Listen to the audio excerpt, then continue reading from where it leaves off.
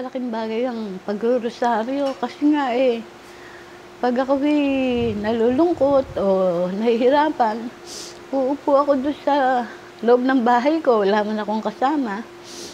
Eh, yun, tanga ko yung rosaryo, may sinding kandila. At nagladasal ako ng lahat ng misteryo. Pagka natapos ko yung 15 misterios, di na, gumagaan na pakiramdam ko, wala nang bigat, wala nang, wala nang sakit.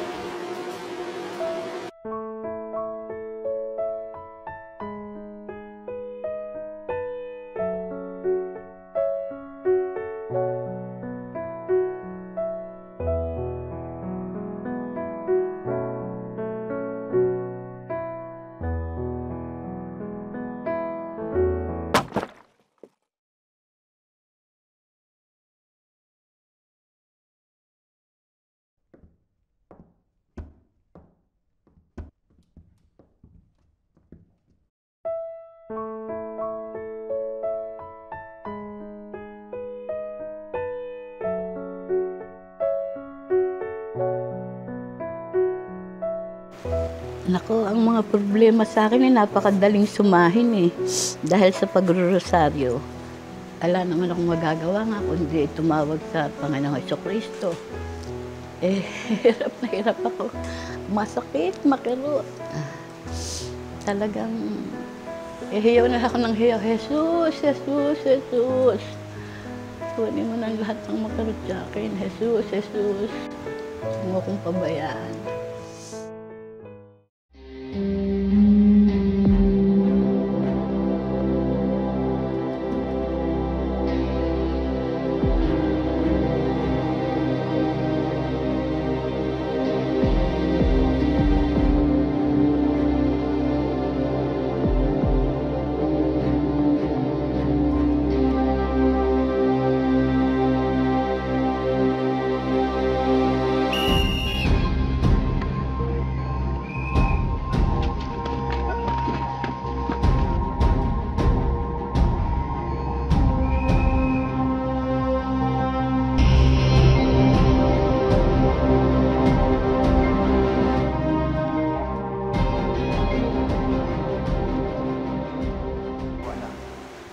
Naku eh.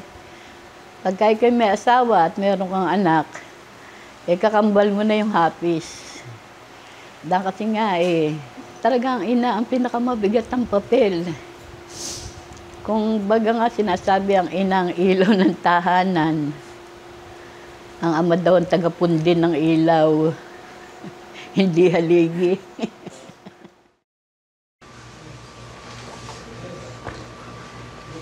Ah, magandang hapon ho. Magandang hapon po. Akin na po kayong dediretsuhin, ano? Kaya ako kayo dito sa aming barangay dahil ayon mo sa isa naming barangay talo, itong inyong anak ay laging nasasangkot sa mga kaguluhan na nagaganap dito sa aming barangay. Ka, pwede ho ba na huwag niyo nang ikulong ang aking anak o parusahan?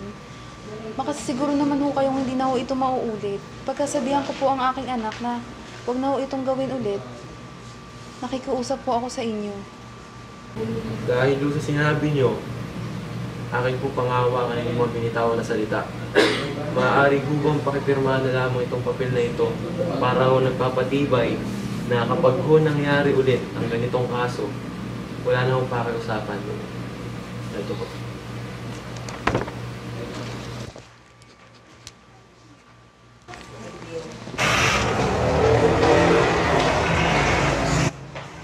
Anak, huwag mo nang ulitin yung ginawa mo kanina.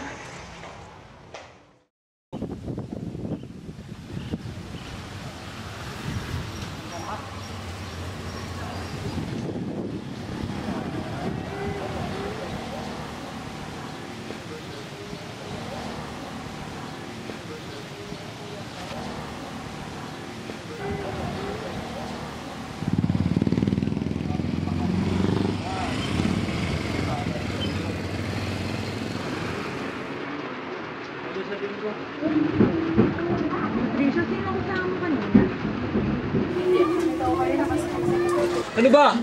Paulit sulit na lang eh.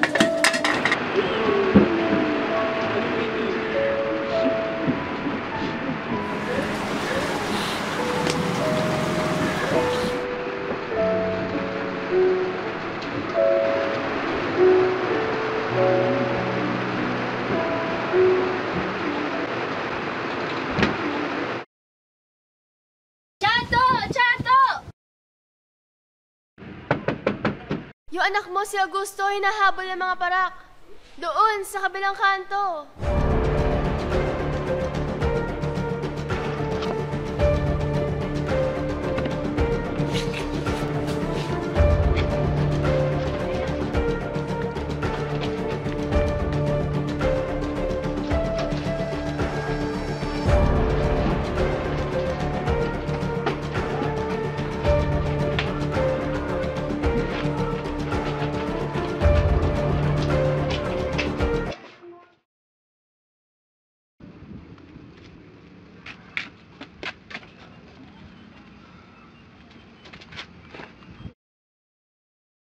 Subukan mong gumalaw.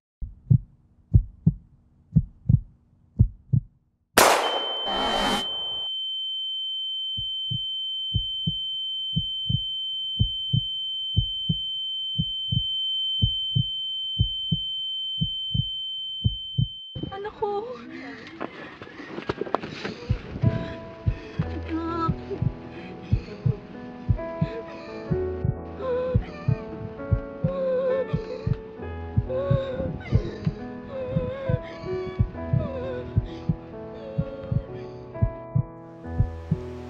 O pagka ganun, dinadasal ko sa mahal na Mama Mary, please help me.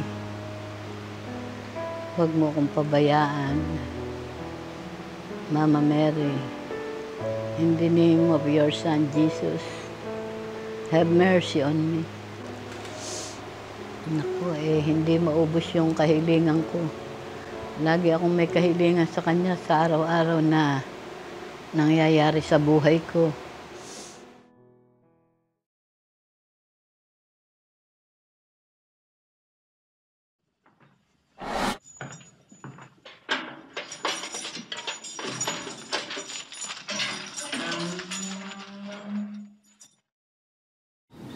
Panginoong Maria, napupuno ka ng grasya, ang Panginoong Diyos ay sumasayo.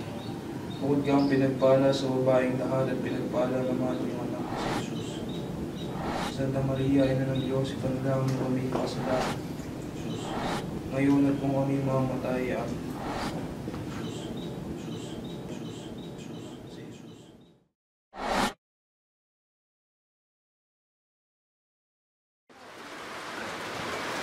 Rosario, patawarin mo ako. Sapagkat di ko alam aking mga ginagawa.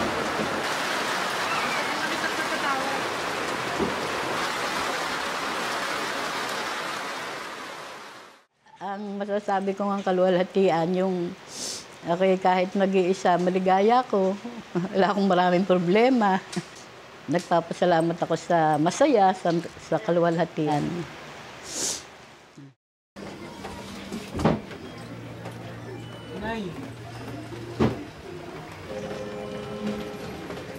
Augusto, anak ko! Salamat po, Panginoon. Abagi noong Maria, napupuno ka ng grasya, ang Panginoong Diyos ay sumasayo. Bukod kang pinagpala sa babaeng lahat, at pinagpala naman ang iyong anak Jesus. Santa Maria, ina ng Diyos, panalangin mo kami makasalanan. Ngayon